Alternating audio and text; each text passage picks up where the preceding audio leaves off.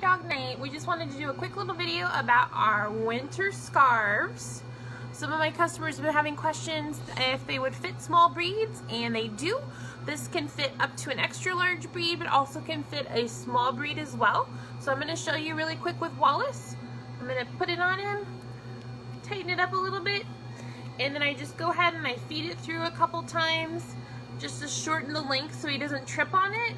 He loves wearing his little scarf. And pull it off to the side. And it is now the perfect length for little Wallace to wear. Yeah. So, Merry Christmas from us at Three Dog Night.